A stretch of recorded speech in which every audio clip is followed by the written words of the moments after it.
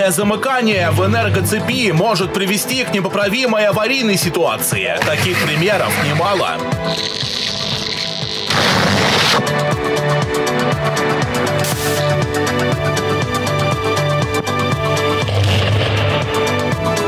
Обнаружить опасности и уберечь энергообъекты от короткого замыкания помогают устройства релейной защиты. Такие приборы мгновенно отключают питание от сети на аварийном участке и подают сигналы о сбое. Ведущие производители систем защиты локализованы в Чувашии. На заводе Релематика выпускают микропроцессоры, шкафы автоматики и специальные терминалы. В основном комплектация российская, в основном. Есть зарубежная часть по желанию заказчика. Этих там Клем? Да. Ну, максимум здесь 300 в шкафу можно 300. положить. Ну, здесь, наверное, где-то э, около 150, 130, где-то 140, вот так, клем. В прочном корпусе сотни клем, проводов, датчиков, устройства автоматики и защиты. Такие шкафы работают на энергообъектах. География продажи довольно широка. На этой интерактивной карте отмечены регионы и страны заказчиков предприятия. Налажены поставки для крупных корпораций. Задача нарастить объемы экспорта. В правительстве региона оказывают поддержку производителям. Сейчас в рамках этого национального э, проекта международной кооперации «Экспорт» на федеральном уровне сейчас готовится пакет э, так называемых системных мер, которые будут помогать и продвигать нашу продукцию на внешние рынки. Прежде всего, чтобы э, снять э, барьеры, тем более в условиях как раз санкци- санкционных ограничений, все это мы понимаем, и поэтому сейчас на федеральном уровне как раз разрабатывается этот пакет мер. А наша задача вот как раз совместно и с министерством, и есть у нас еще организация, которая будет помогать, способствовать республиканский экспортный центр, и здесь уже активно будем сотрудничать. Если раньше релематика больше зависела от иностранных компаний, то сейчас многие комплектующие на завод поставляют российские производители. Для предприятий республики импортозамещение – приоритет.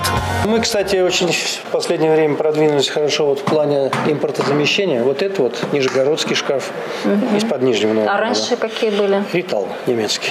Немецкие. Ну, это примерно на 30% Ну, дешевле. вот выкрыть сейчас вот тоже рассказывает. Игорь, ты раньше итальянские, по-моему, были, да? Были ББ, вот такой ББ переключатель, он стоит сейчас где-то 2,5, 2,5-3 тысячи минимум. Этот нам, наверное, обходится где-то тысячу с небольшим, да. Вот что нам это дало. Чтобы релейная защита работала как часы бесперебойно за качеством сборки приборов, налажен тотальный контроль. Здесь еще проходят две стадии контроля дополнительно. Основные. Каждое изделие, которое мы отгружаем, абсолютно все изделия. А система контроля какая? Система контроля. 9001 у нас есть, Ну, это понятно. но есть еще внутренний программный продукт, который контролирует все стадии.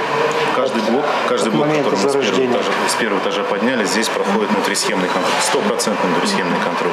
Каждый маркируется после контроля, чтобы контроль прошел. И потом после сборки еще терминал проходит две стадии контроля. Предварительную проверку и последующую функциональную полную уже проверку. Даже через 10 лет мы можем четко сказать, какой сборщик допустил брак или там, ну, это вот все учитывается. Куда это очень сложно, платы даже вплоть до какого-то там резистора. Информационная система своя. Да, своя информационная система мы применили, которая объединяет склад, бухгалтерию, продавцов. Инновационные проекты реализуют квалифицированные специалисты. И в их подготовку тоже необходимо инвестировать. Среди производителей электротехники продолжается битва за умы. На этом заводе создали свою научную школу и учебную программу для студентов.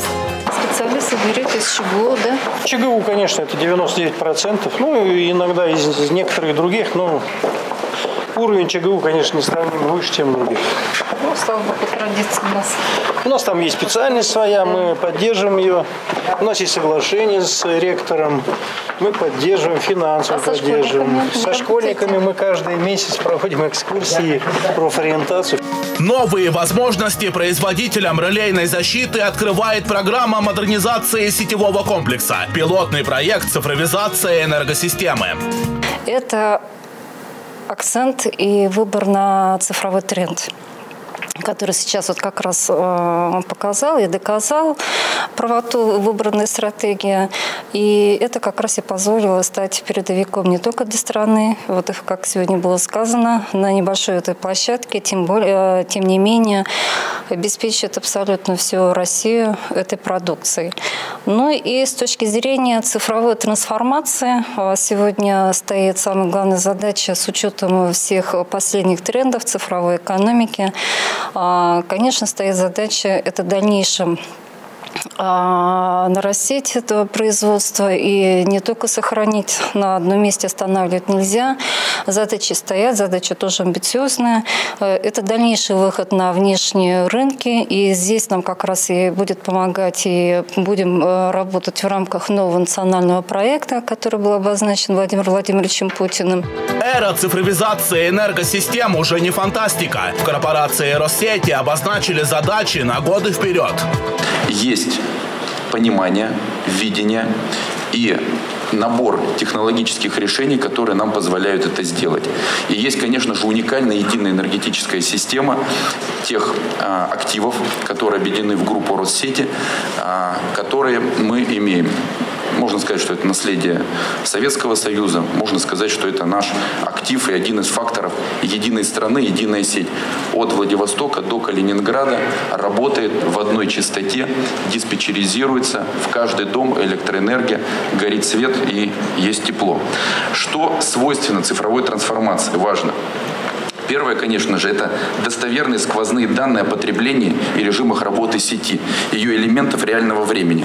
Конкурировать на рынке смогут только те производители, которые взяли ориентир на инновации. У предприятий республики высокие шансы занять новые ниши. Перспективы развития сферы электроэнергетики обсудят в конце апреля в Чебоксарах на форуме Релаф Экспо.